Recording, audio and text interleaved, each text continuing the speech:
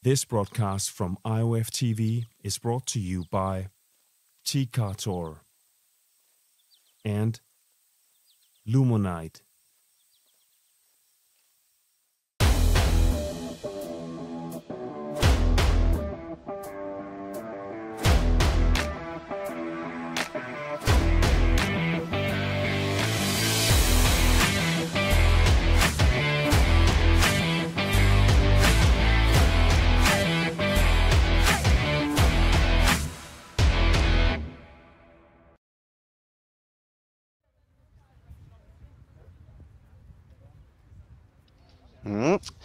Welcome to southern France and the city of Saint-Maximin-la-Sainte-Baume, which is uh, located uh, around 40 kilometers northeast of Marseille.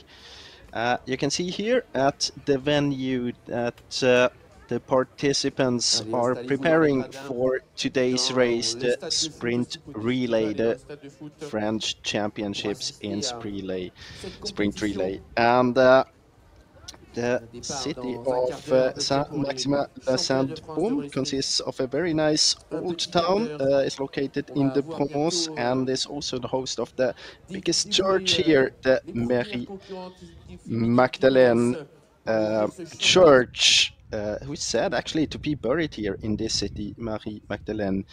Uh, but coming from religious topics back to the less religious orienteering topics, and the big, big question that we will answer today will is there a team that can break the streak of uh, Asia Aix-en-Provence with three titles in a row? So uh, they are definitely among the favorites today. And I can promise you we will have uh, quite a challenging and uh, a bit of different kind of sprint relay course today. The course planners really tried anything to make this uh, competition as interesting as possible. They struggled a little bit because they were not allowed to have the competition area in the city center. Um, so they had to be a little bit outside in this sports area with a lot of uh, sports building or sports complex here. Uh, but they solved it in a, special way, and I'm sure we will get to see that later on when we have the course preview. But you can see here the runners for the first leg are warming up, and it is a club championship. Um, uh, it's a bit different when we will look at the favorites and at the team members. Here again, the city of uh, Saint-Maximin-la-Sainte-Baume. You can see where it is located.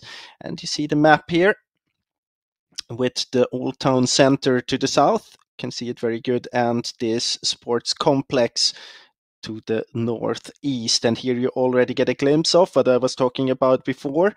Uh, it will be interesting today because we have this kind of maze where each runner will go into twice actually right after the start and then right after the spectator control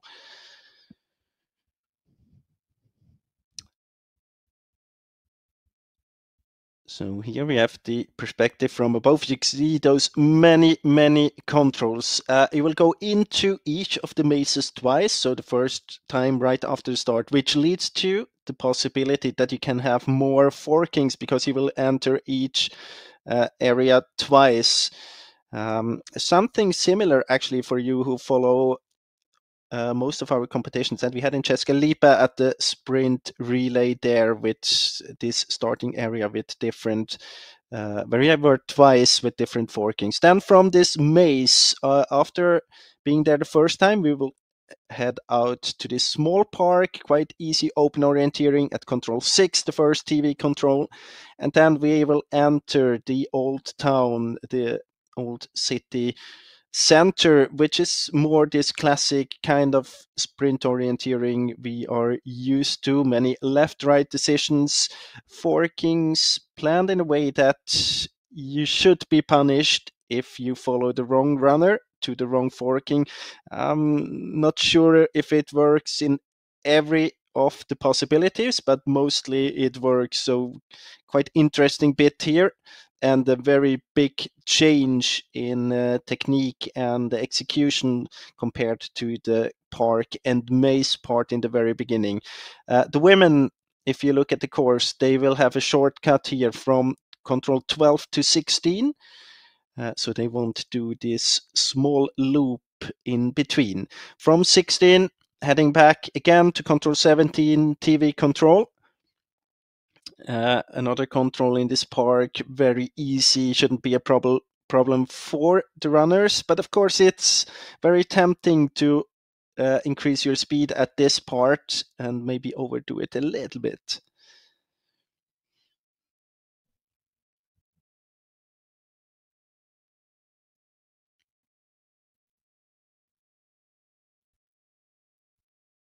So here we get another idea of the terrain.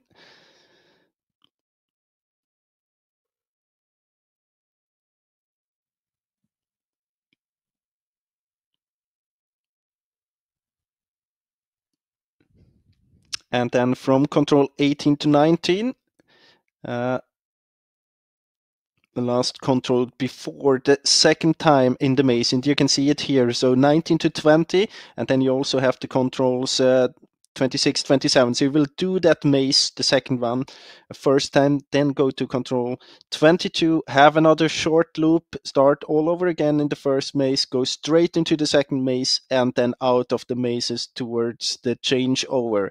So you're you're twice in these areas right after start and right after the uh, spectator control. And uh, of course, you also have a map flip at the spectator control in order to make it a bit a, a little bit uh, better readable here. And then 28, 29, rather easy control to the changeover.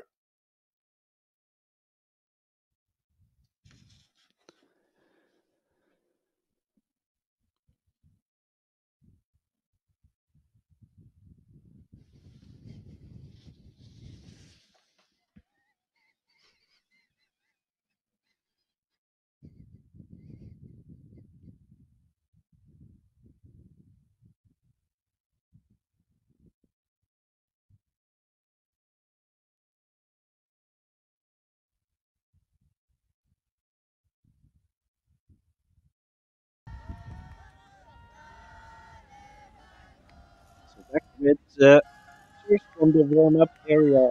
Uh, it is so you have to master not that many. You have the elite runners. We used to uh, follow sprint relays in the World Cup where we have four runners and all of them are uh, very, very talented and very fast of course, we have talented runners today as well, but the difference between the runners would definitely be more than the 30 seconds we are used to from the World Cup. So uh, I expect it to be uh, more changes in this kind of competition. And here you can see the maze, uh, the first one to the right and the second one to the left.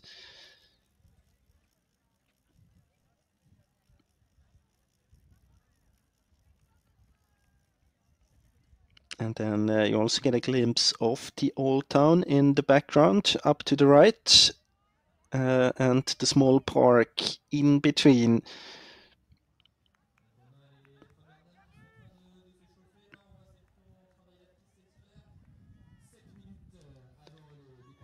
Uh, you can see also that the not so many fences built up here. The course planners they didn't want to overdo it because it should be readable on the map and you should be it should be possible to put those fences out at the right place. Um, and if you have too many and too complicated kind of uh, structure in the maze that would be impossible. Also i think it's quite a good decision because uh, it's right after the start and we have uh, 63 teams starting today. So it will be quite a mess uh, to the first control at least but as we've seen before there are many different controls many different options uh, and a lot of space in between the fences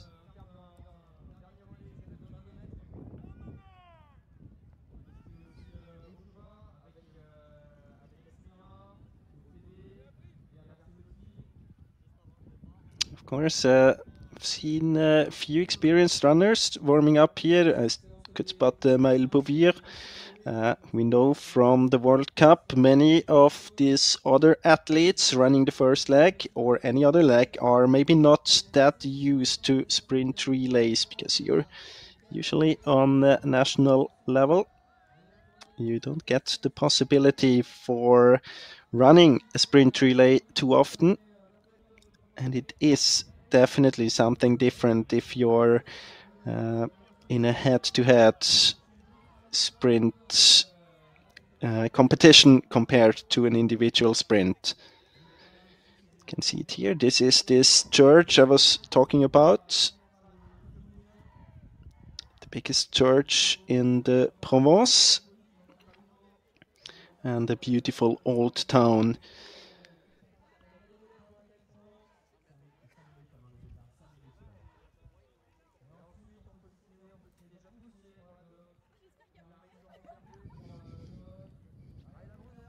I can also uh, see that the weather is quite fine. If you were uh, observative uh, at the warm up, you could spot that most of the runners wearing short ar short arm uh, shirts and shorts, so it seems to be quite warm as well.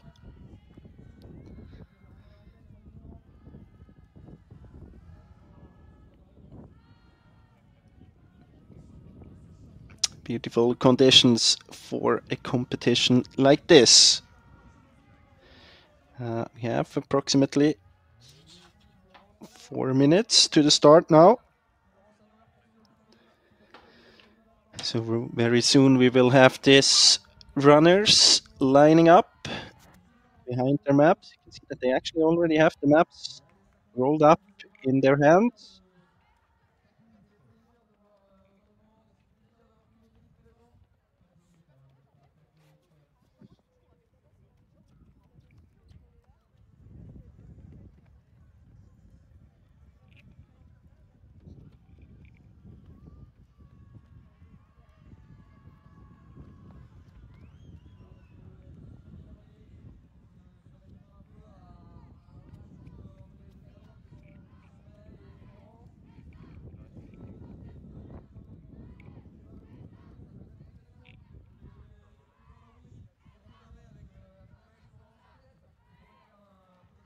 We have uh, maybe the biggest uh, favorite for the first leg. Uh, we had her in the picture very shortly, Maël Bouvier. Uh, we have other interesting names running the first leg here as well. Alina Balcao, uh, Lucine Godillon, Fanny Delahaye, Juliette Basset, and Lucy Lataste, uh, just to name a few of them. Uh, but as I mentioned, the difference on the level here between the runners uh, quite big. Here you have the maybe biggest favorites or a few of them lined up after the start numbers. Um, the defending champions, as I said, three times in a row. Uh, Sia Aix-en-Provence, uh, starting with Diane Hubert, and uh, maybe the biggest challenge here to keep in contact and don't lose too much on the first leg for Diane Hubert because uh, after her we have really strong runners coming. And you can also spot that a few of the names you're definitely familiar with here. Uh, Cécile Calandry running the last leg for Annecy.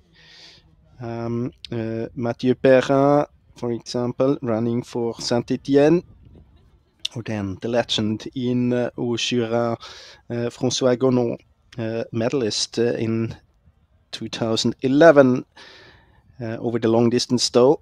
And yes, I said 2011, a few years ago. There are other strong teams as well. we have it on the list here. Uh, for example, a team with uh, Maxime Roturier, Quentin Roturier, and uh, Josephine. Uh, so a Swedish runner on the last leg. They will have Lucille Roger on the first leg. You can see it here with start number eight. also a very, very strong team.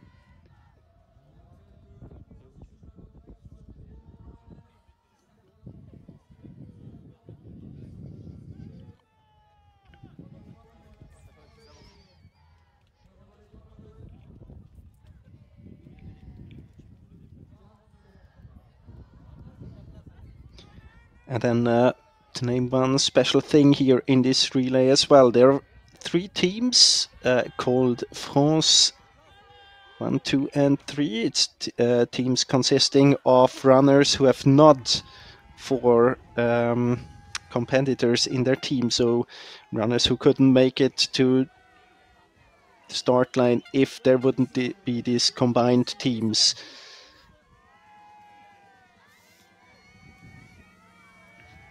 We have her, uh, Alina Palkau, one of the favorites maybe for this uh, first leg.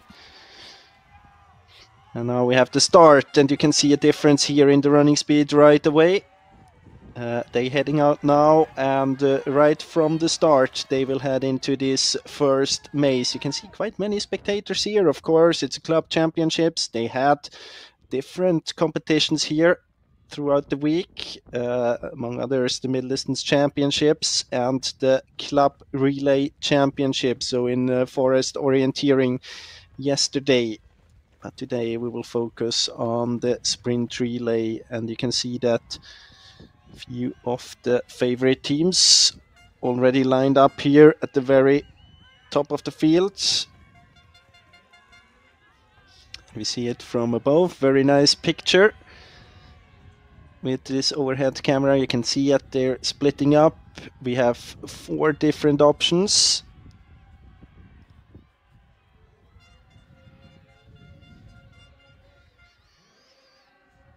And uh, you can see why it is quite good that they have a lot of space in between the fences. There are many runners heading out on this first leg. And it is quite messy the route choices. I mean, there are route choices. You have to be uh, observative. Uh, mostly, I think you have to be careful to end up at the right control. Um, because you won't win or lose so much time here. But it forces you to focus on the map right away. It's not a very comfortable situation for the runners. Uh, not very often that we have these kind of mazes. I remember that there was one at the European Championships uh, in Switzerland, in Neuchâtel, at the football stadium just before the finish. And here we have the first teams coming out from the maze. Maël among one of the leading teams here.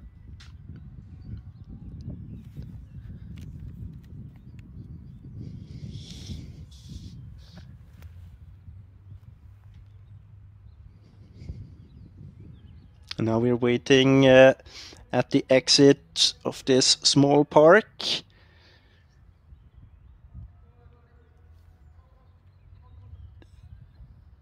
can see that the runners entering it now. Uh, if I'm right, then uh, uh, I can tell you that Aisu Annecy is up there, Ushura, Azul,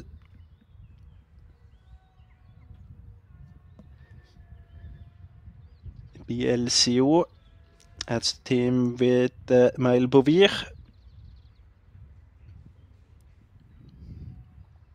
Those the four leading teams.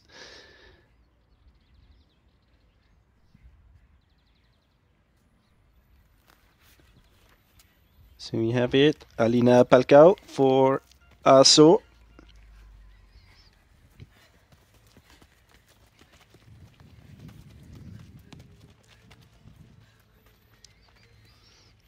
Just ahead of uh, Ujura and uh, in third position Floros Anauer. So a familiar name in international orienteering as is uh, Lia Verselotti. We had there uh, on the list as well for a short while. And then many, many of the teams following here. And now we are entering the old town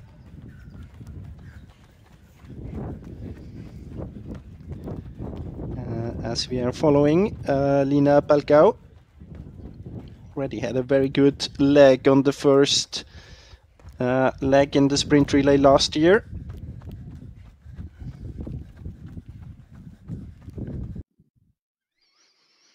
You can see that the street here very narrow.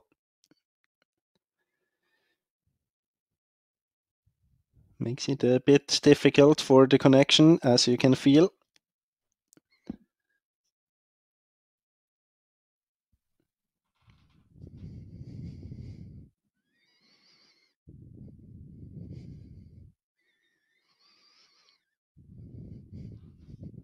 Uh, on the way to control 8 now, which is a forked control.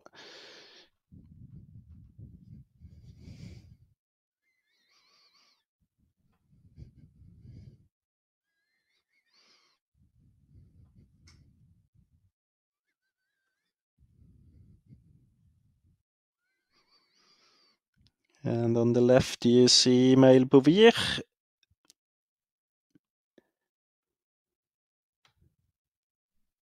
For BLCO. On these different options towards control 8 and 9, then.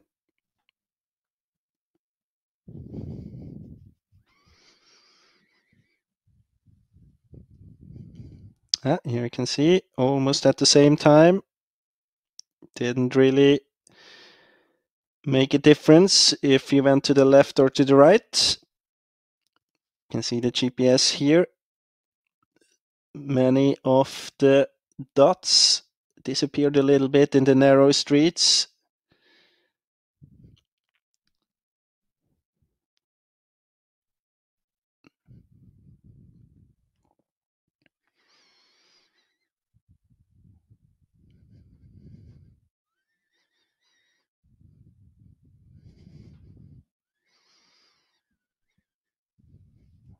So this is an unforked bit towards control 10.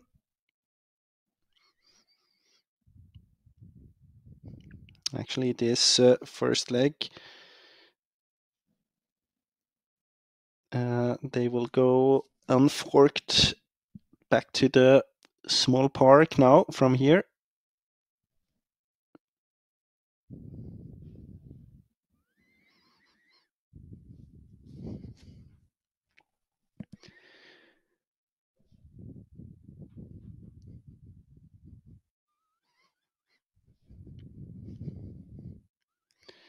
No, no problems for Maël Bouvir at uh, control 11. You could see that uh, had a little bit of struggle, almost, almost overshot the control.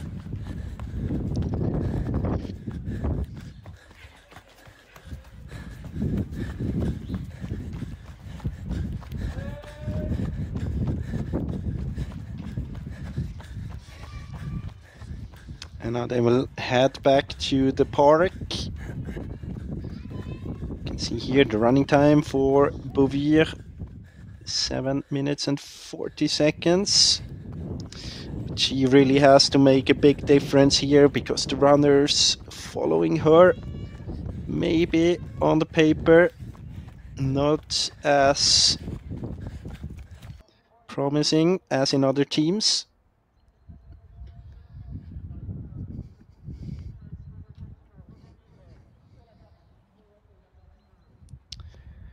Here she comes, entering the park again to the second radio control. Yeah, could spot the control now, a small hesitation.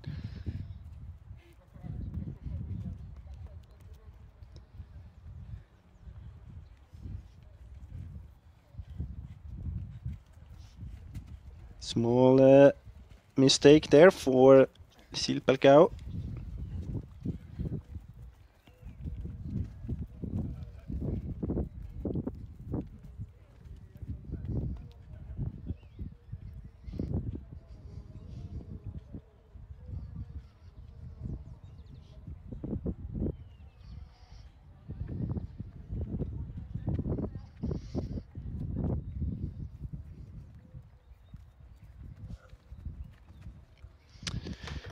And now Bouvir will run back towards the exit of the park and towards the second maze.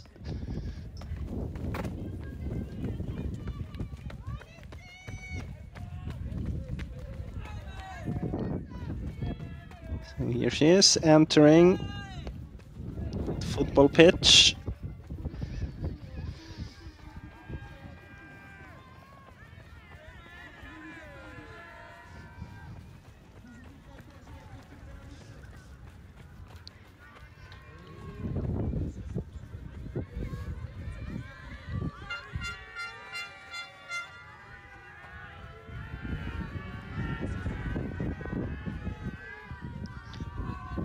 See that you have to be very careful in order to not be on the wrong side of the fence. Uh, it's hard to figure out when you just look at the map.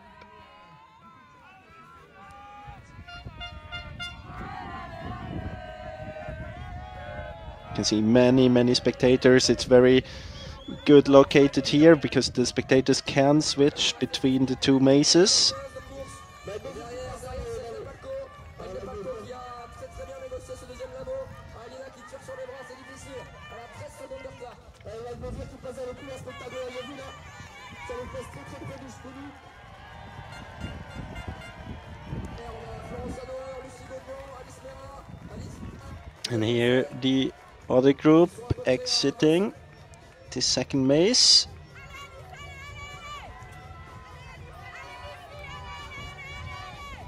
Uh, not uh, very well prepared here, the whole group.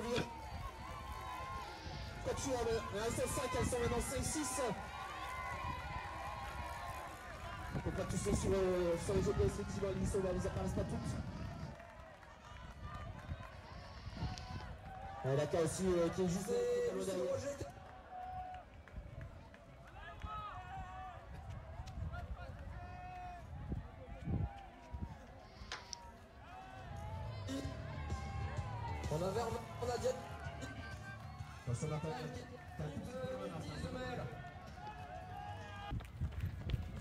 You have them again in the picture. Now they're heading out uh, second time. So they had this run through uh, and will go into the first maze again as they were just after the start. And then from this first, straight into the second maze and then to the changeover.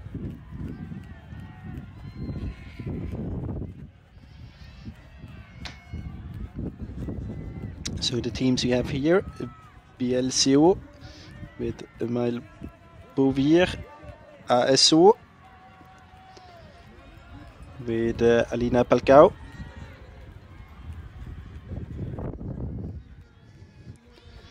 Uh, we also have Oshura in this group, Alice Merin.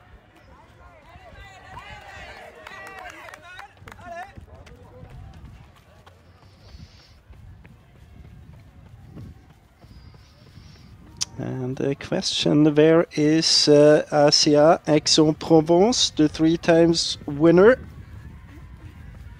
Keep an eye on that. And you can see it is tricky.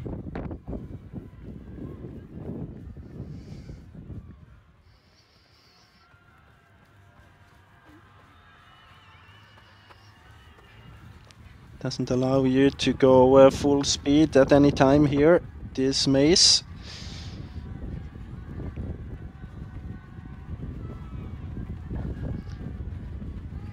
Emile Bouvier will hand over to Adrien Frade on the second leg.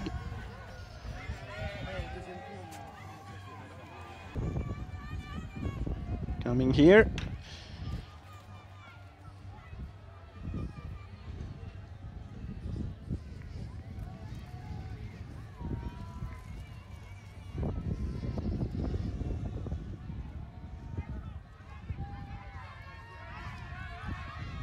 This is the third last control. You can see this is the group behind chasing Bouvier, consisting of uh, three other teams right at the end here. We had uh, uh, Azu Annecy.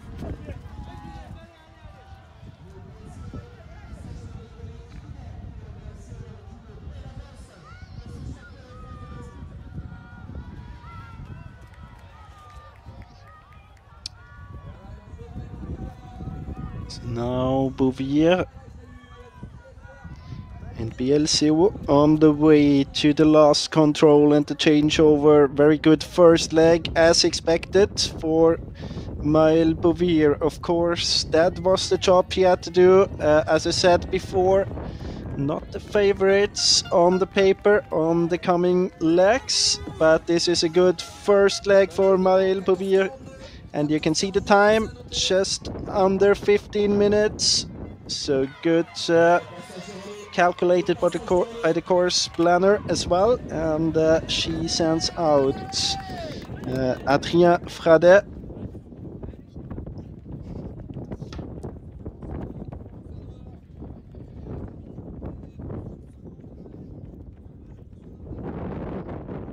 And let's see how big the gap is compared to the other teams.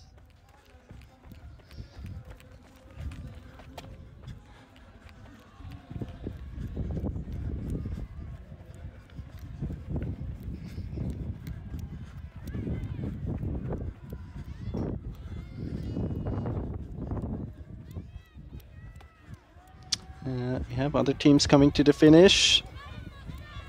I think that uh, Alina Palcao is changing over as well to Rafael Maslia.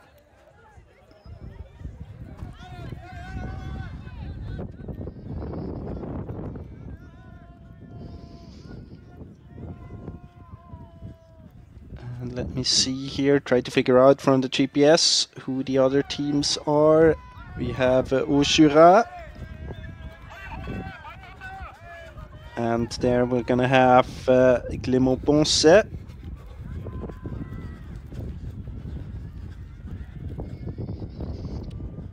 And we also have Azul. And there we're gonna have on the second leg Julia Vito.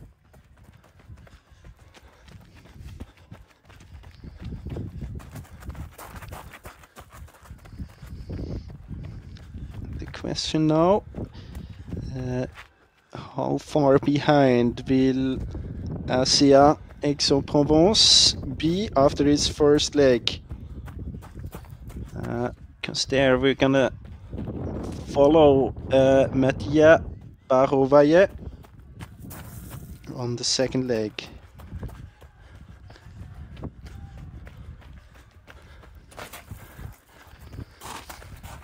You can see it here, you can see that the chasing teams, they are just going out from the maze. Uh, ISO with uh, Maslia.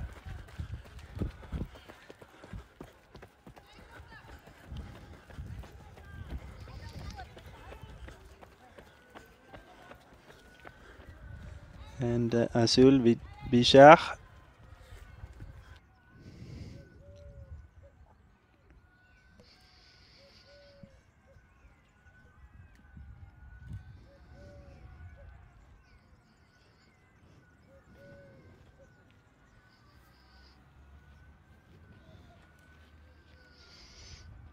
So waiting here at the first control. We had uh, Adrien Frade punching here 20 seconds ago. And we have one, two, three, four teams following.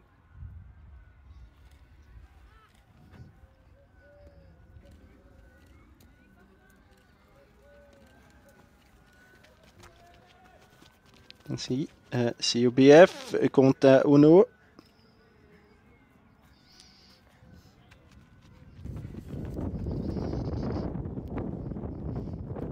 Struggles a bit with the times there.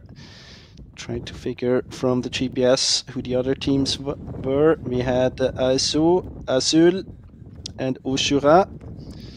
So we had uh, Rafael Maslia. We had uh, Romain Pichard and we also had Clément Ponce at this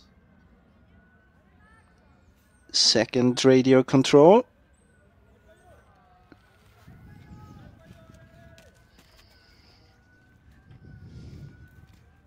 Oh, there's someone coming back here. Maybe just going around uh, the wrong way. Maxime Roturier, 123 behind. That's interesting.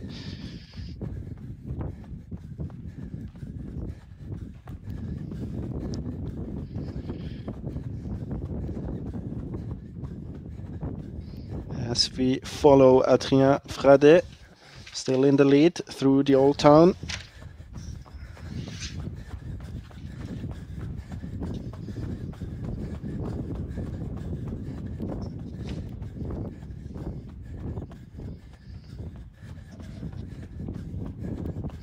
Uh, uh, look at the GPS, I can tell you that uh, they are splitting up. Ushura going all the way to the left, Azu and Azul keeping it to the right. Uh, it's a forked control, so that's a good sign. At least for Ushura.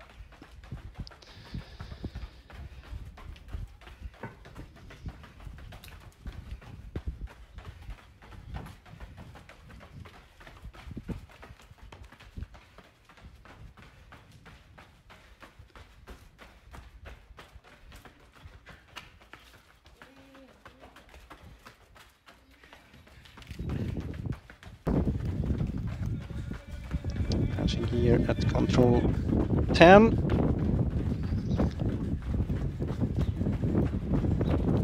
And I think we are following behind uh, Rafael Maslia of Azu and C.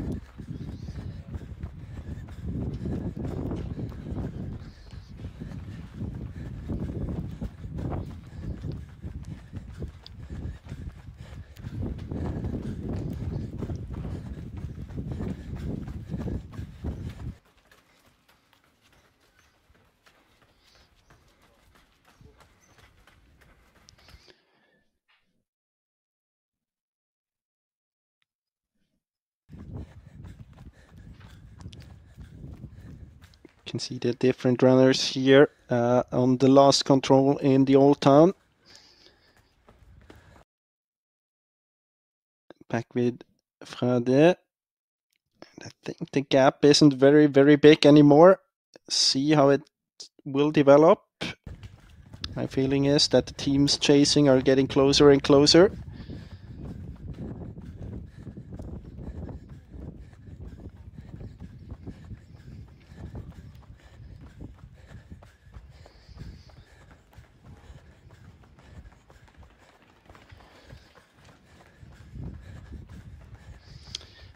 Uh, of course, here you can see it compared to the women. Uh, they have this extra loop after control 12 where the women went to 16. They're heading down again to control 13, taking another loop here. And you can see that the gap now with the 20 second tail between uh, BLCO uh, and especially uh, ISO with Maslia isn't very big anymore. They took different route choices there. And you can also see that uh, Roturier for GO78 very, very much closer. He was more than a minute behind at the first radio control. And uh, just behind him, Asia uh, def defending champions, trying, of course, to take advantage of this very, very good back. But um, this is going to be an interesting one because GO78, as I mentioned in the beginning, very strong finish with uh, two times uh, and uh, Josephine Stjernlund. Frade, quite careful around the corner. you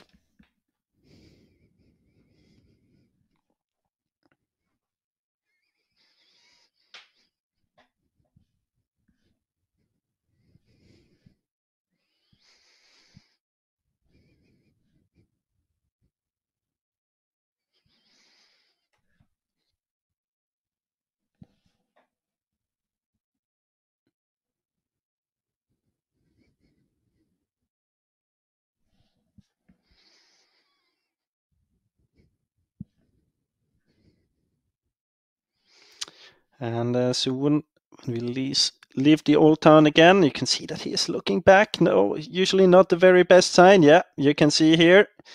Here they are together. So now we have uh, two runners in front. Uh, it's BLCO and it is ISO Annecy. Adrien Frade and uh, Rafael Maslia. And then we also have Azul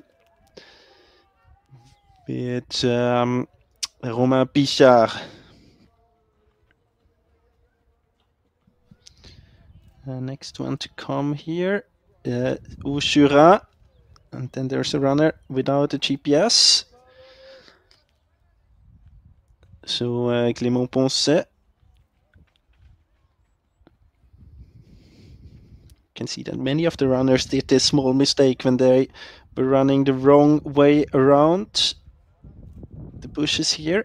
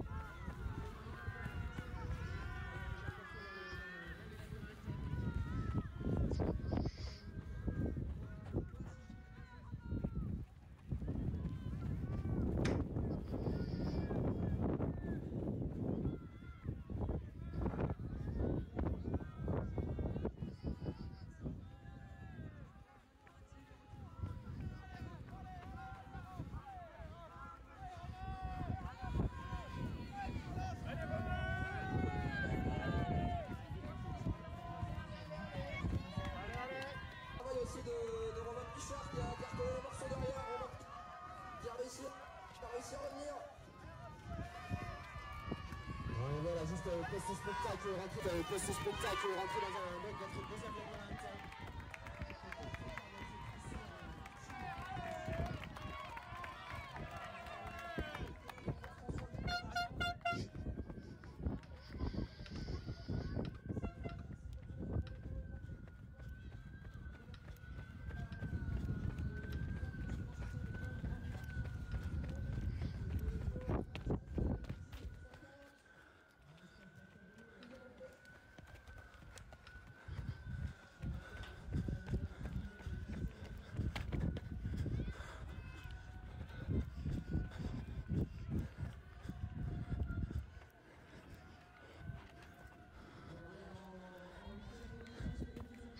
Here we have another view of the GPS. You can see the teams uh, named there to the left. As they are heading into this maze for the second time.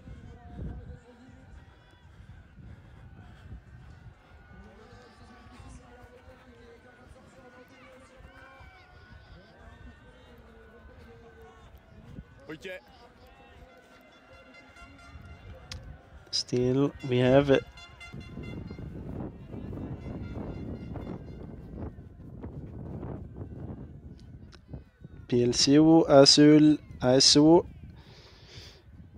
among the leading teams here. Uh, Rafael Maslia in the picture.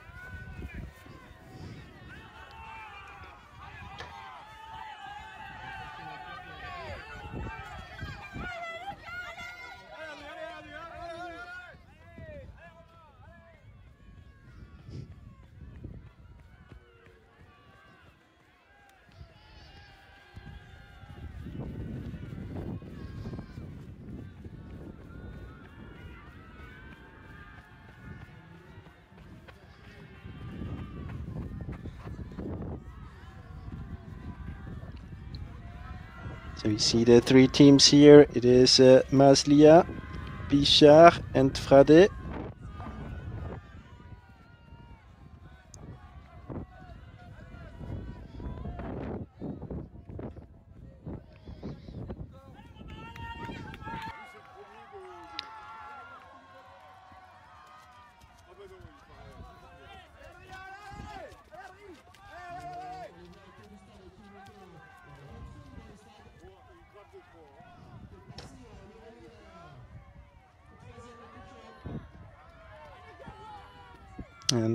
For more teams to come. Et du coup, euh, moi, je vais où après, euh, après cette balise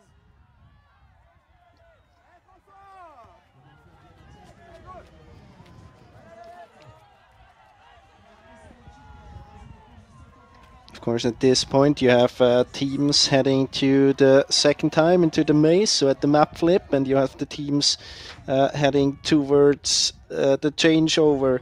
Uh, so we have this three teams here, very soon to change.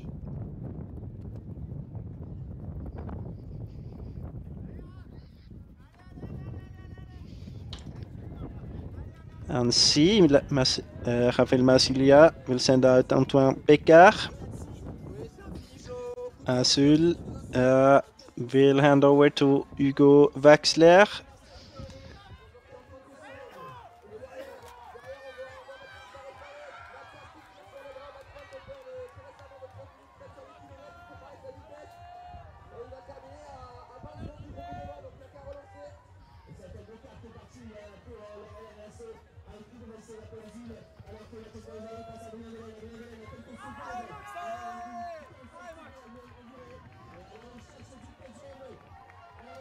And you can see here the change of the changing teams, of the chasing teams.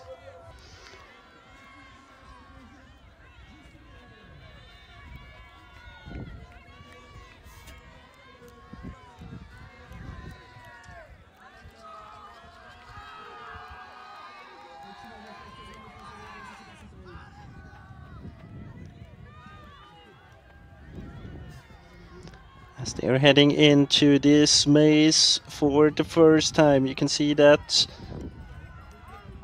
uh, there are quite many runners still in this because, uh, of course, we have the runners from the second leg being here for the second time.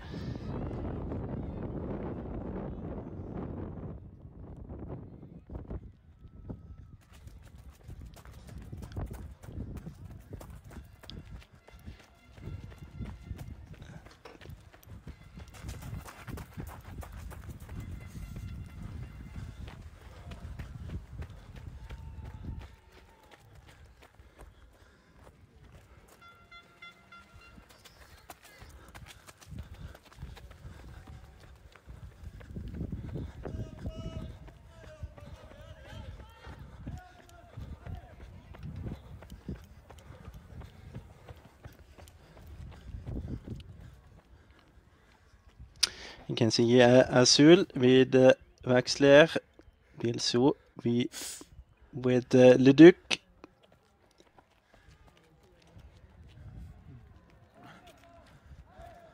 And uh, Bigger for ISO, the three uh, leading teams. And then behind, interesting, Asia uh, with uh, Dulen, quite close, getting closer and closer. So let's see, they're coming to the first radio control, first time here. Ah, here's the control, that's uh, Azul. Uh, Hugo Wexler, Anton, Antoine Bigard in second position.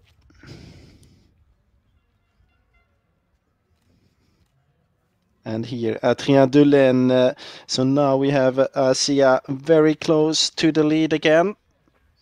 Only 12 or 13 seconds behind. And this should be GO78 with uh, Quentin Roturier. Very close now as well, so I would say that we have five teams in the top. ISO, BLCO, Azul, ASEA and GO78.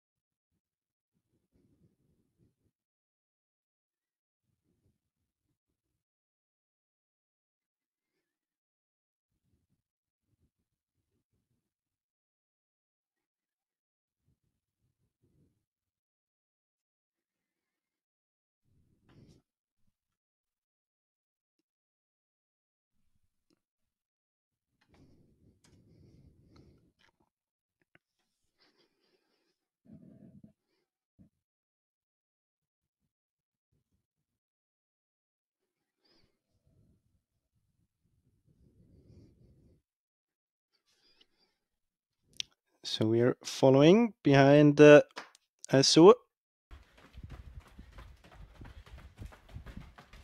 And now uh, behind Azul.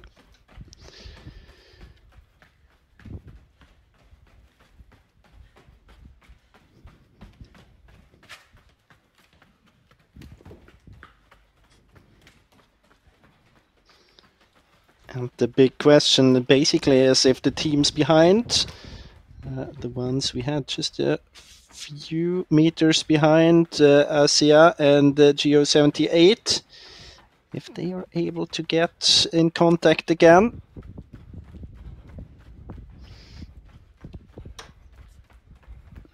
Looks good here for Hugo Wexler.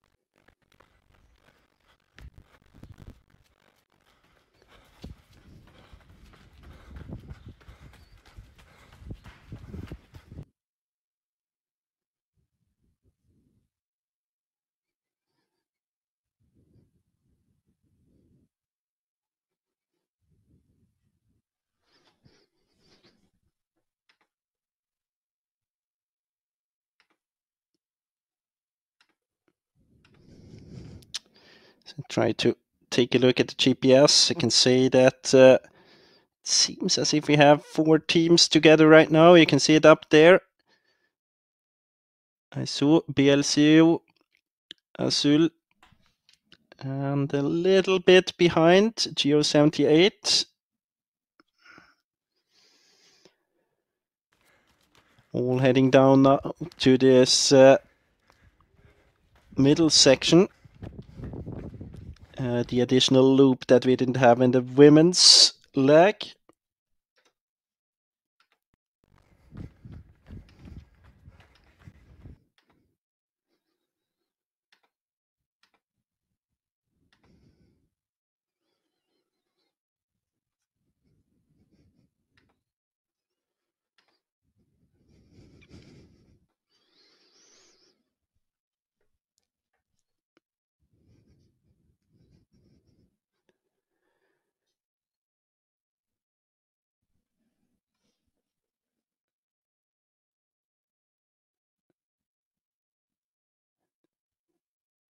You can see that no one is choosing to go to the right all the way around. That's good.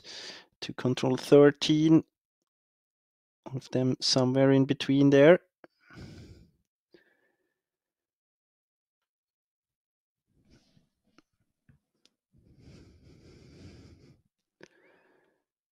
And this is Adrien Dulaine for the defending champions.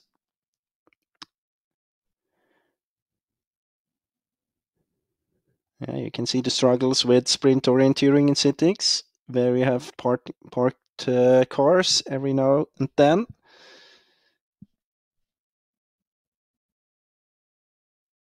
And uh, my feeling is actually that he has a gap now for, uh, would say, about 10 to 15 seconds. Interesting. Of course, he's trying now to push very hard in order to get uh, the gap growing as big as possible. It's very hard to uh, uh, struggles a bit with this one as well. Coming here. Let's see if he is going to the right side of the bush. Yes, indeed. So Adrien Dulaine, how big is the gap? Keep the watch here. So here we have the two following teams, uh, Azul and ASO and they are 10 and 11 seconds behind. And what is the gap down to uh, GO78 coming here? Quentin Roturier, uh, 23 seconds behind.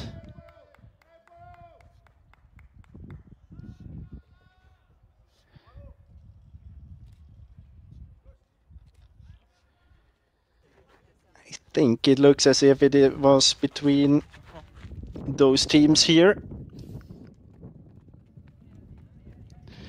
Uh, back with Adrien Dulaine for Asia. Heading uh, into the maze and uh, missing the entrance almost. Uh, can see that the camera person had a better entrance there. And it's it's hard to say uh, if you can lose so much time here because the running speed is not really really uh, high here. You have to make so many turns. Can't never really run full speed. You can't really uh, take advantage of the runner in front of you because uh, most likely has another forking. But uh, looks good here. It's kind of the ski orienteering technique you have to use. Keep uh, your plan in mind and then decide left or right all the time. Exiting this first uh, maze and uh, heading over to the map flip. And the gap uh, before 10 seconds. How big is it now?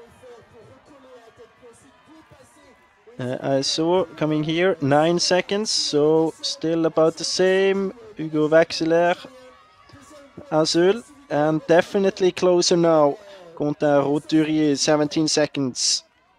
So we have 9, 12, and 17 seconds for the chasing teams. Uh, with the defending champions RCA from Aix-en-Provence in the lead.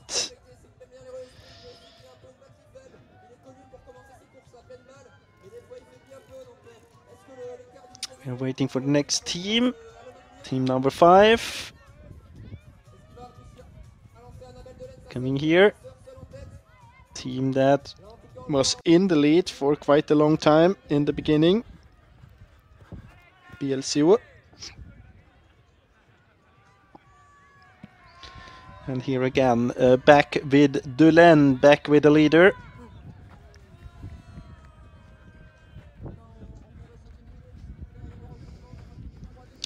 Can see that the other runners also entered the maze. Ah, some collision here.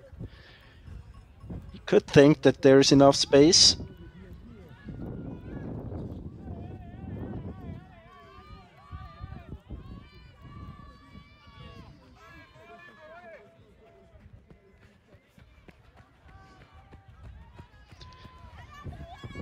If we look uh, to the next changeover, we will have uh, Adrien Dulaine handing over to Annabelle Dulaine. Uh, we will have uh, ISO, Antoine Becker, handing over to Cécile Calandry. Very interesting there. Uh, GO78, Guyancourt, handing over Quentin Roturier to Josephine Stjernlund. So this is a very interesting name to see here at the French Championships. And Azul uh, Hugo Vaxler will hand over to Isia Bassé. So very uh, well-known names here then on the last leg. Uh, as we have Adrien Dulaine coming here.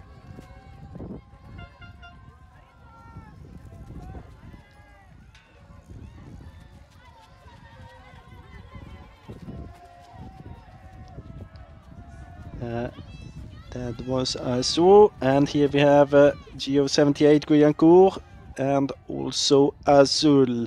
So the four teams all punched and now on their way to the second last and last control and last changeover of this competition.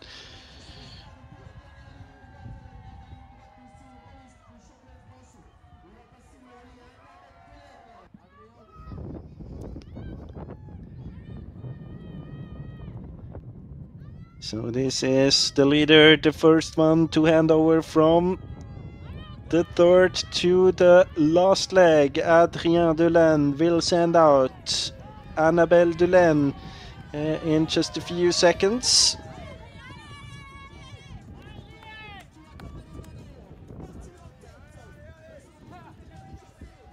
And interesting to see now how big is the gap.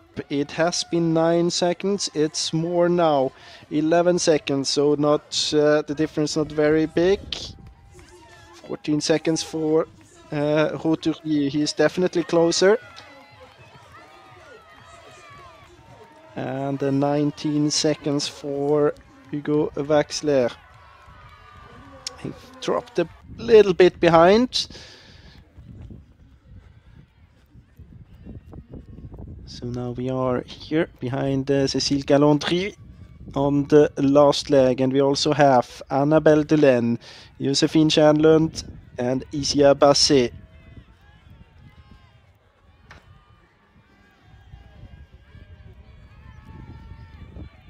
You can see it, the gap uh, was around uh, 11 seconds at the changeover.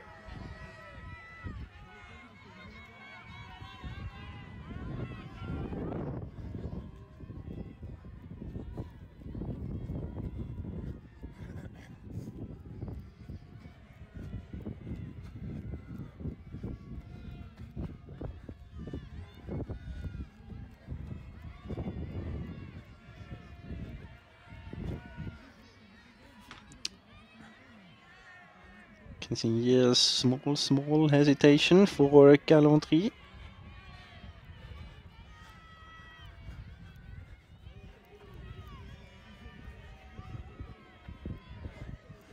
There to the left, you could see uh, Annabelle Dulaine. Still a few meters ahead. And now on the way leaving this uh, maze for the first time.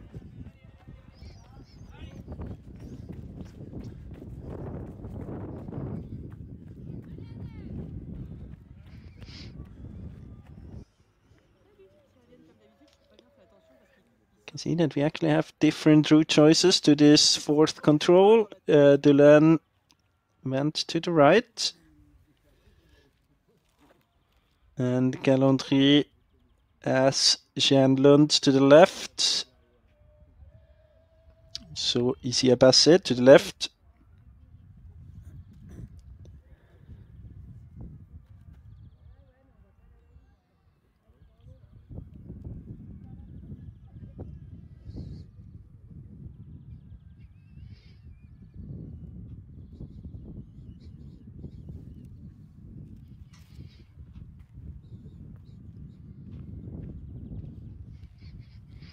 You can see that we have a few forkings here in this park. Uh, they won't be very decisive, I guess, quite obvious. But of course, you have to be uh, observative. And here they come. So no clear leader at the moment. You can see that uh, Calandry. Oh, now they're hesitating. So still Dulaine in the lead.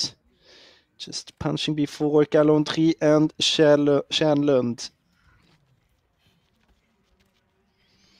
And then a few seconds behind, 11 seconds behind, Isia Bassi.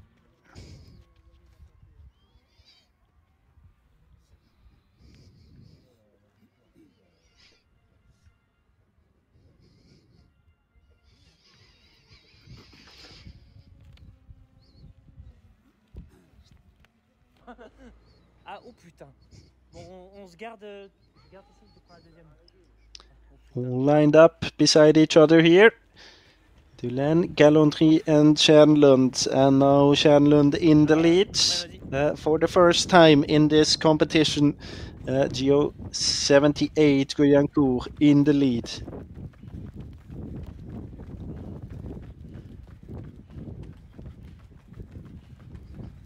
And you can also see that they are splitting up again as they have been doing throughout the whole competition almost. Of course, depending on different forking as well.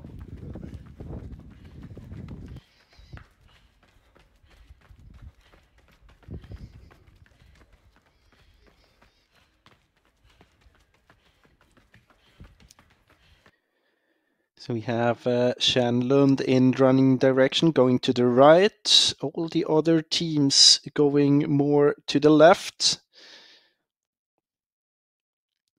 or to the east.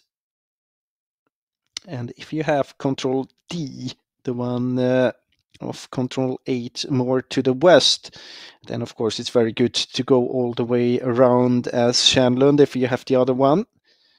Um, then it's a good thing to go the other way.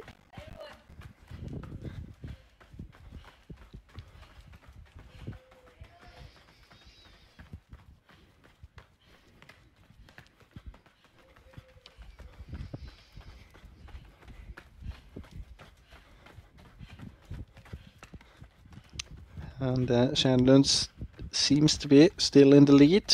You can see that in Calandry's picture, you can actually see the camera person and Stjernlund in front, so the gap's not very big.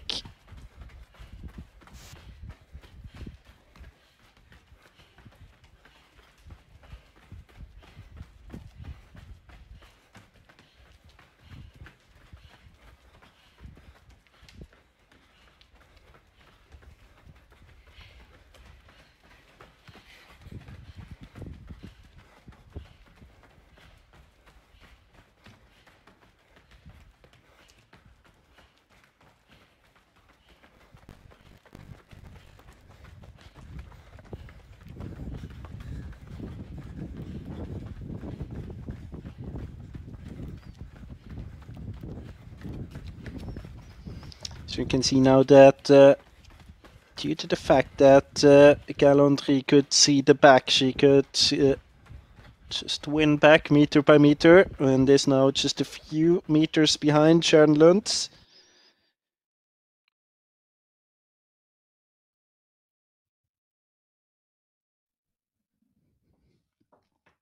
You can see that uh, different route choices to control 11. Haven't seen so much of uh, Bassi and Dulain in the picture, but they're not so far behind. And uh, again, not this second loop. They don't have the second loop into the city as we had before in the men's course.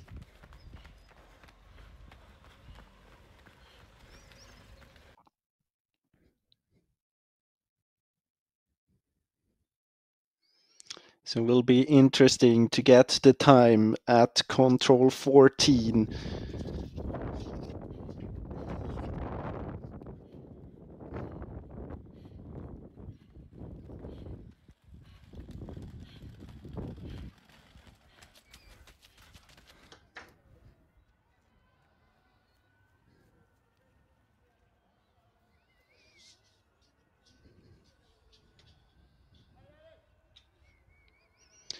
Getting down the stairs here. So let's see how big the gap is.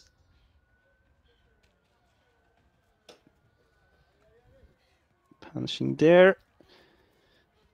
Uh, the gap between the two, four seconds.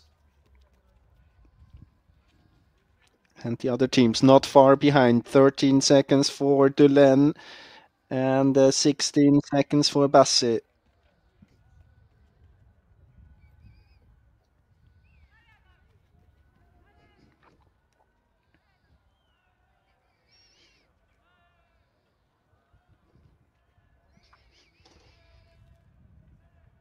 So now it's uh, only this park bit left and then the two times heading into this maze.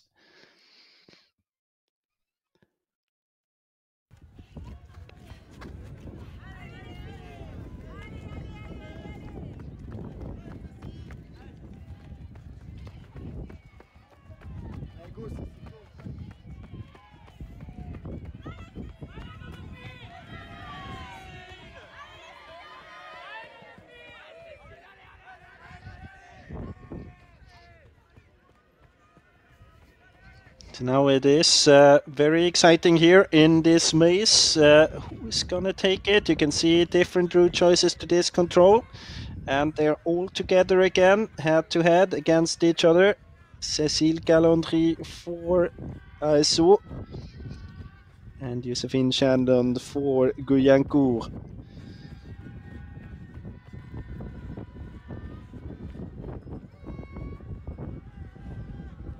Hmm, different route choices here again and different results.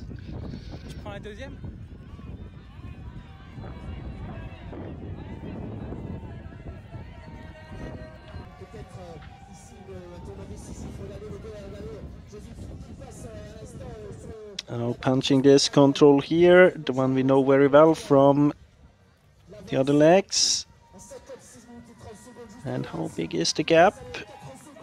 Uh, four seconds still.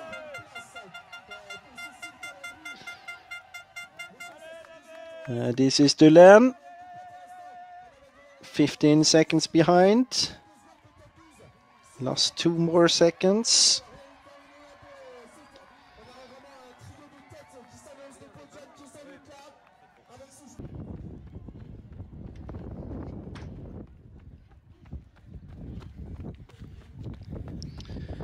And uh, they have the map flip now.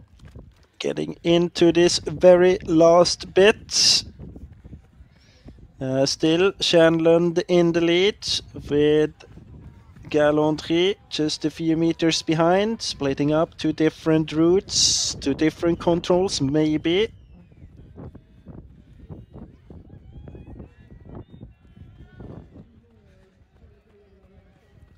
Ah, good route choice there by Calandry.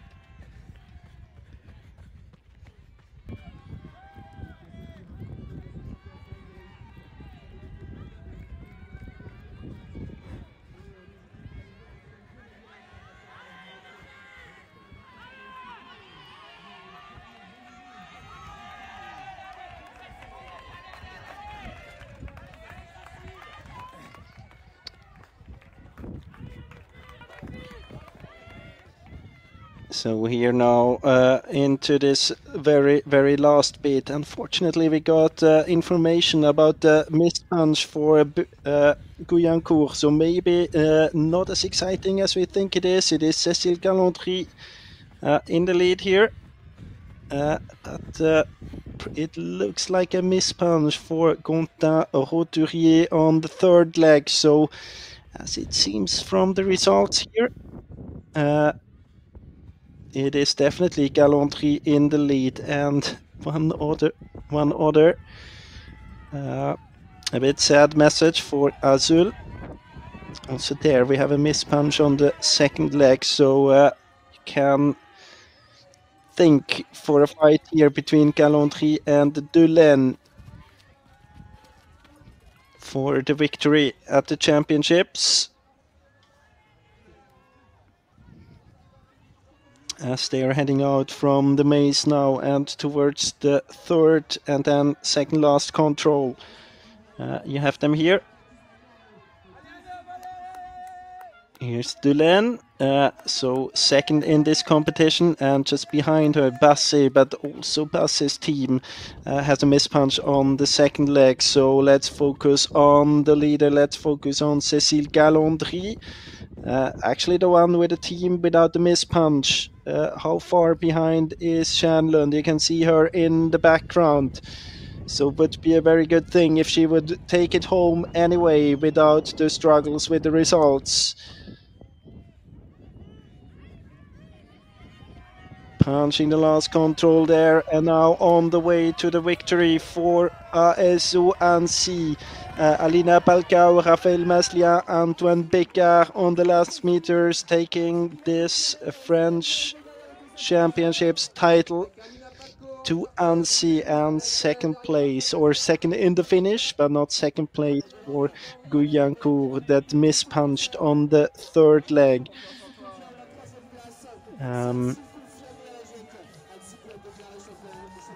And uh, we are waiting for the third team to the finish and the bronze medalist. Uh, it is a fight here between Bassi and Dulen, but it is Dulen who is taking the actually silver medal.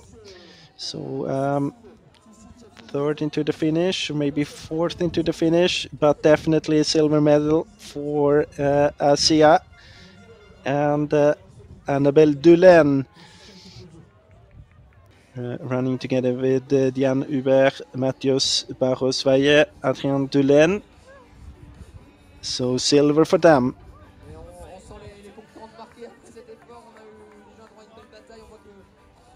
And let's see which team's gonna be the third team, the bronze medalist. So the fifth team to the finish. Uh, I think it is Saint Etienne that was in the pole position for that. Let's see, it looks like it is uh, Besançon uh, right now.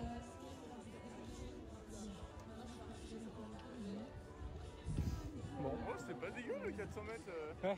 20 à l'heure Ouais, ça relance quoi. So we have uh, Justine Pellissier for Saint-Étienne and we have Tiffen Moulet for, for Besançon.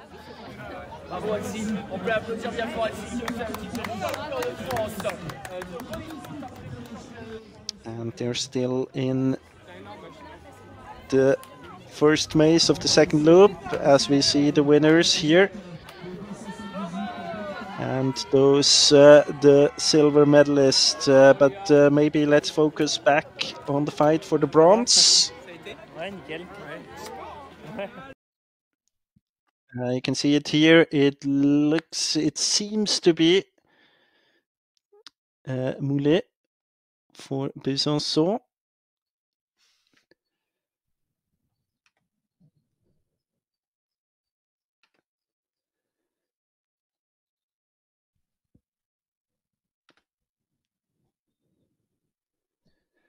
Uh, but we also have uh, Douai Diadé in the fight.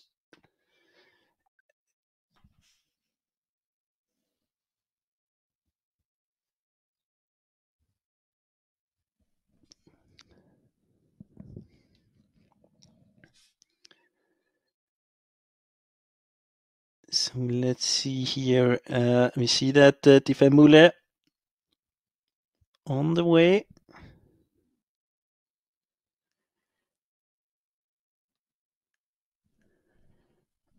Uh, on the way to the second last control here.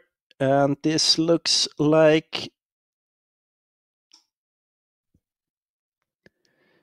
a bronze position. Bien. Enfin, jusqu'à quoi Top 5, top 6 So let's see here. At least it's a team uh, without a miss punch getting to the finish very soon. I don't know if she is aware of the fact uh, that she is going to take the bronze medal here. Hope she won't take it too easy.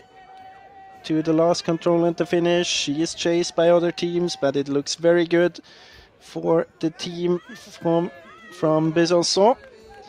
Uh, so Tiffen Moulet into the finish, uh, taking her colors to the bronze medal at this championships, running together with Lea Verselotti, Thomas Kuriger, uh, Jérôme Bouchon, and uh, last leg Tiffen Moulet. We haven't seen so much of her throughout the course, uh, focusing on the other teams. Unfortunately, two miss punches by Guyancourt and uh, Azul making this fight a bit less uh, intense as compared to what we expected. Uh, next team to the finish, uh, Saint-Étienne, Justine Pellissier.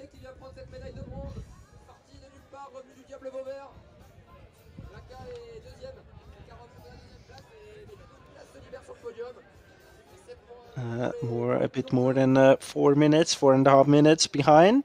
Uh, we also had uh, Diadé, uh, Florent. You can see now the updated result list. So uh, gold medal to ISO, silver medal to Asia and bronze to Besançon UTB.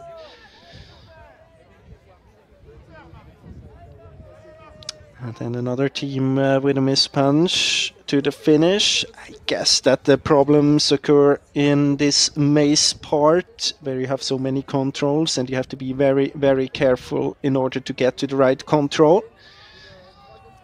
Of course, as always, you should double check the code at the control.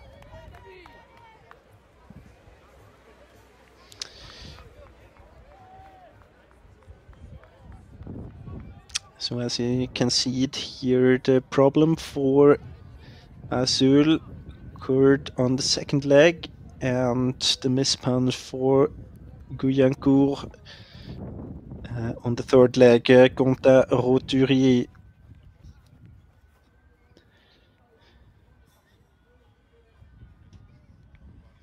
But uh, to summarize the competition a little bit, uh, I would actually have expected the competition to turn a little bit more than it did. Uh, it was very consistent, uh, thinking about the fact that it was a national championships. Of course, we had uh, uh,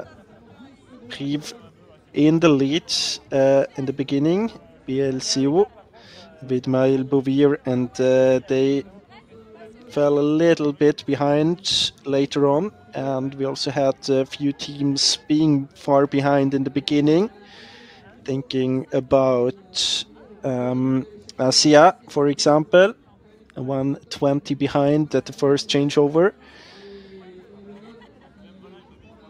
And also Guyancourt, uh, a minute behind at the first changeover, but otherwise uh, we had a few teams consistently in the lead throughout the whole competition.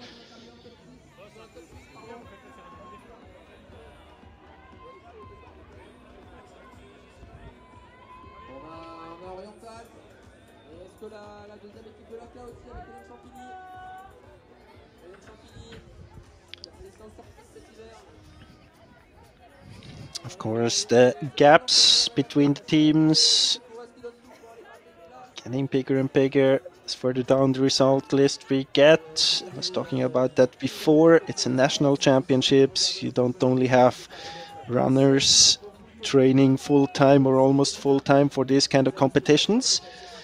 You have also quite many teams that have uh, one or two runners from uh, maybe 18 years or younger, or then some older runners from the men or women 40 classes uh, if you don't have enough elite runners in your club. And of course if you then compete against runners with international class you drop quite far behind time wise in the result list. Good sprint here for the 16th position between uh, another team from Saint Etienne and Adoc.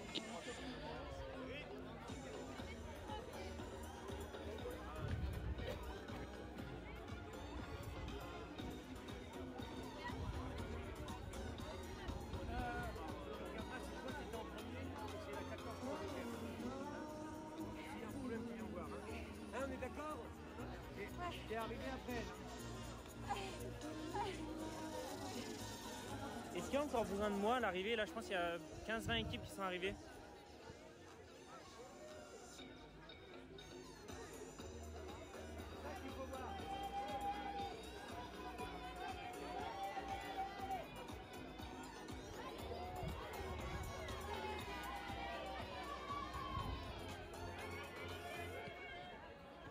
Ah oui, désolé. Euh, mais il y a encore besoin de moi à l'arrivée ou pas?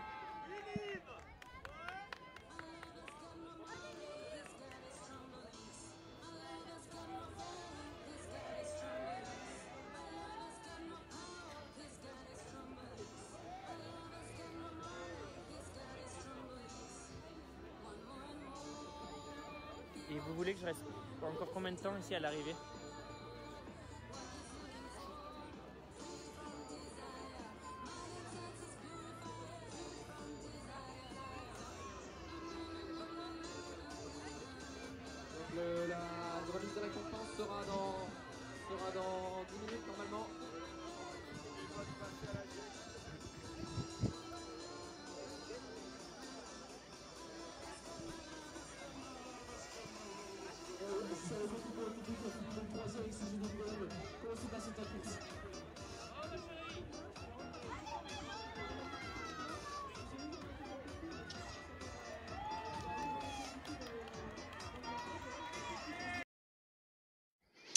Mm.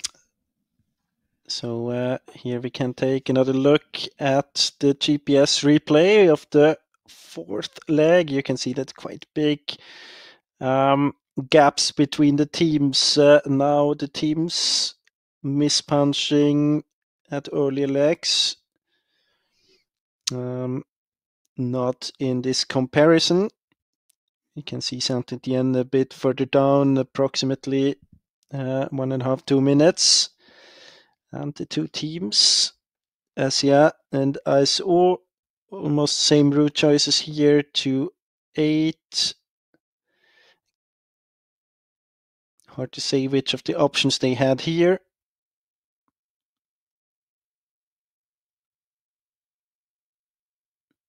Then different route choices, and here is where we could see that uh, ISO got away a little bit running together. Uh, Cécile Calandry with uh, Josephine Stjernlund at this part.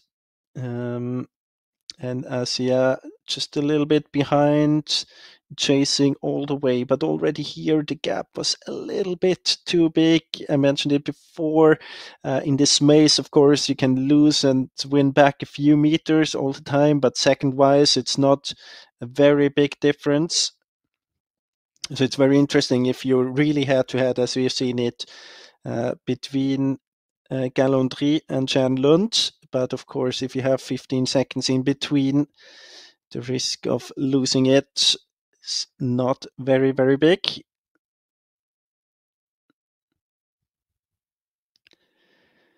And it looks very easy and calm here. But uh, of course, we didn't have the action of the head to head as it was in real for the competitors. They didn't know that the other teams had missed punch before. And then it was a fight for the bronze there behind between Saint Etienne, Besançon, and DAD.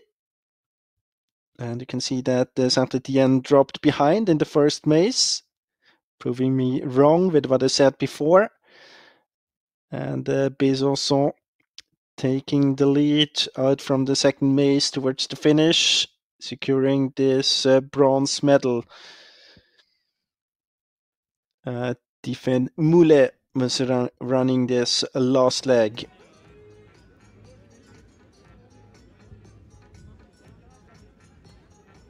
So here we have it again. You can see that uh, the defending champions from uh, Aix-en-Provence in second position, 120 behind after the first leg, and also Besançon already 1 and 10 behind.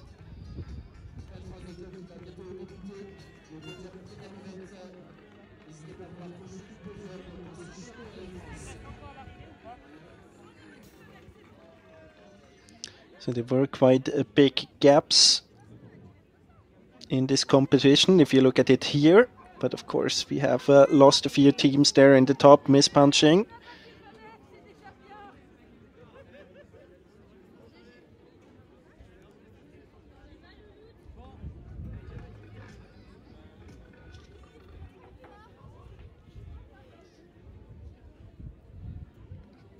But uh, if you look at it for Aix-en-Provence, uh, the change over to the men really, really successful.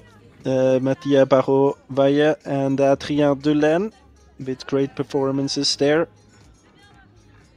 on the second and third leg.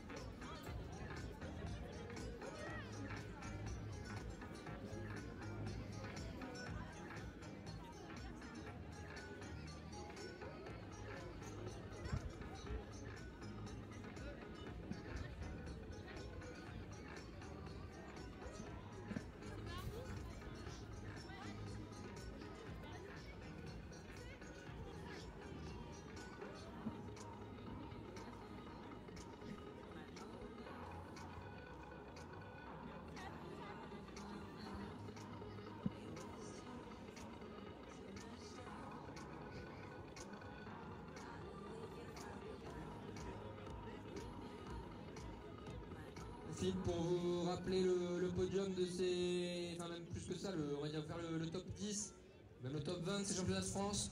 Victoire pour ASO, Annecy Sport Orientation. Médaille d'argent pour la Aix-en-Provence et troisième place pour euh, OTB Besançon. Et ensuite dans le top 10, on a le TAD, le NOZ, Gosson 18, OPA Avignon, le Jura, tout azimut Douai, Balise 25. Et enfin le top 20, Assul Villeurbanne 2, AK Aix-en-Provence, le TAD 3, COPF, une équipe groupe France qui ne comptera pas, le NOZ, la DOC, OTB, le Cox, Eco 73 et Vervin Orientation. Le Vervin qui vient ramener un top 20, c'était dans le nom.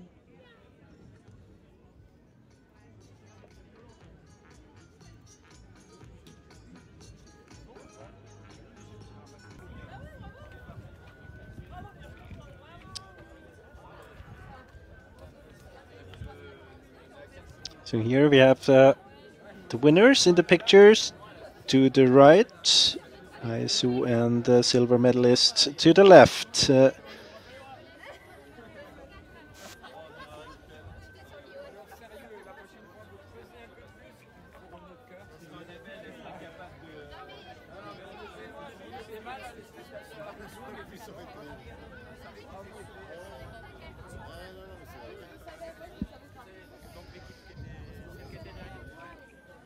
Uh, you can see it was very important for Annecy to get a good start uh, with uh, Alina Balgau. Only four seconds behind. Uh, she changed over to Rafael Maslia.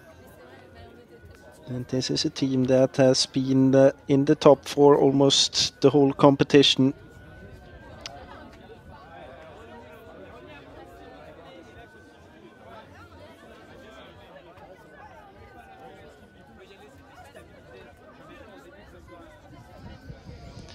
And uh, Besançon taking the bronze medal, and maybe a bit uh, surprisingly for themselves as well, being uh, four minutes behind, and with quite many teams in between, but they were mispunching as we know.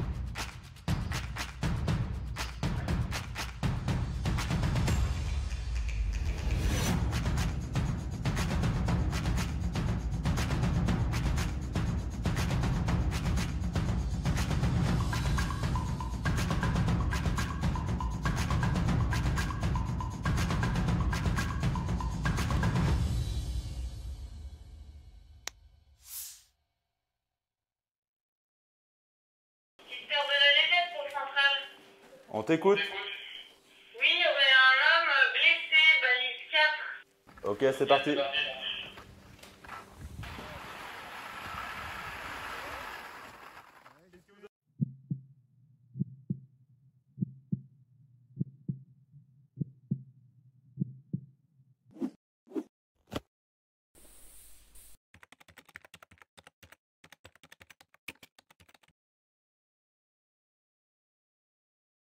Les sports. Avec un peu d'entraînement, on peut tous pratiquer un sport plus responsable. Gérer les déchets sur les événements, réduire leur empreinte carbone, donner une seconde vie aux équipements sportifs. Avec son programme Sport Planète, Maïf s'engage pour que le sport soit meilleur aussi pour la santé de la planète. Découvrez le programme. Agir ensemble pour un sport plus responsable, c'est ça, être assureur militant aujourd'hui. Maïf, assureur militant.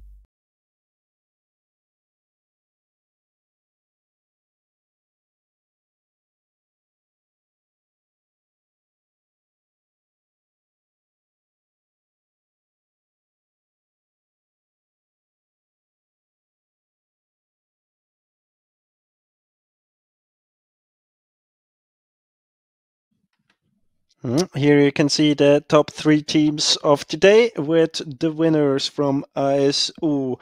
Uh, silver medal goes to Asia, Aix-en-Provence to the defending champions, and uh, the bronze medal to Besançon. You can see the runners there lined up. Uh, very uh, important, as mentioned before, for the winners to get a good start uh, with Alina Palkau and uh, then they were up there in the lead. The men could follow with the group.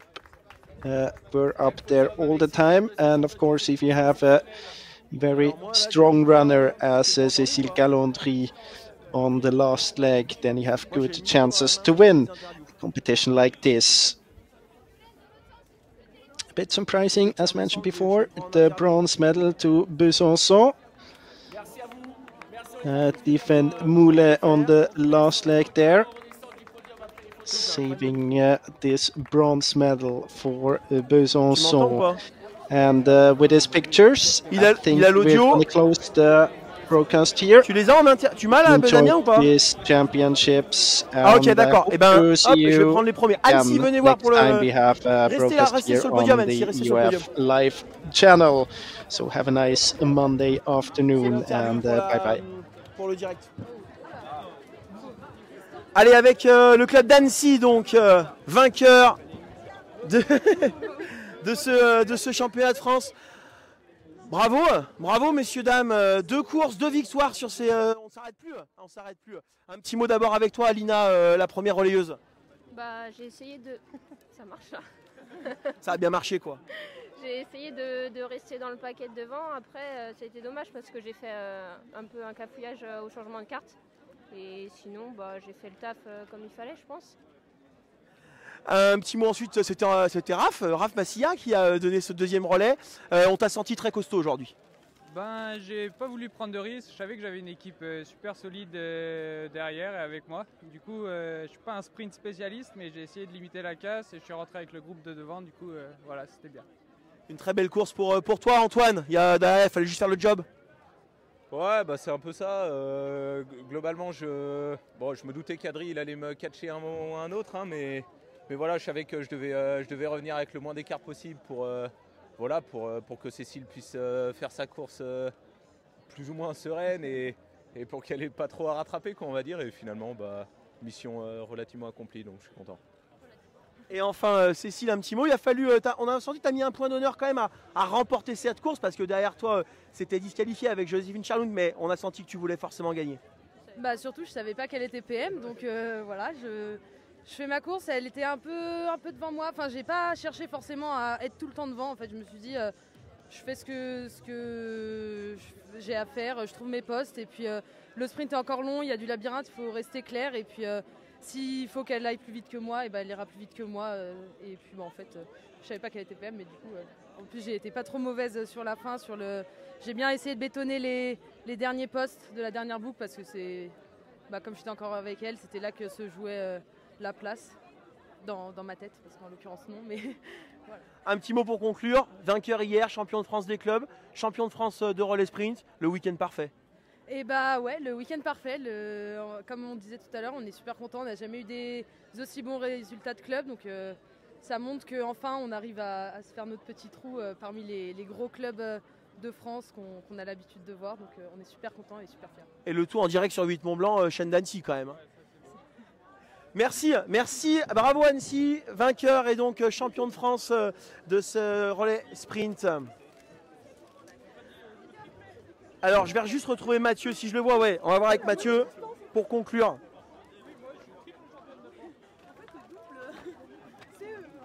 Allez, on se retrouve avec euh, Mathieu.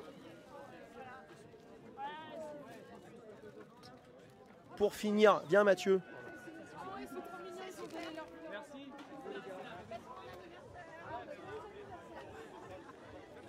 Mathieu, un petit mot pour euh, conclure ce, direct. Euh, comme le disait Cécile, euh, vainqueur aujourd'hui, voilà, enfin Annecy fait partie des grands de ce championnat de France et de ces, clubs français. Ah bah oui, là carrément, oui, ils ont montré qu'ils avaient une équipe, en plus c'est une équipe jeune, hein, donc attention à eux les prochaines années. Mais, euh, mais en tout cas, ça faisait plaisir de voir les meilleurs Français enfin réunis sur euh, ce format de course. On, on a vu hein, les, dernières années, ce n'est pas toujours le cas. Et euh, ben, quand les, meilleurs sont là, ben, la bagarre est au rendez-vous. Et ça fait vraiment plaisir d'avoir des, belles courses comme ça en France sur un championnat de France.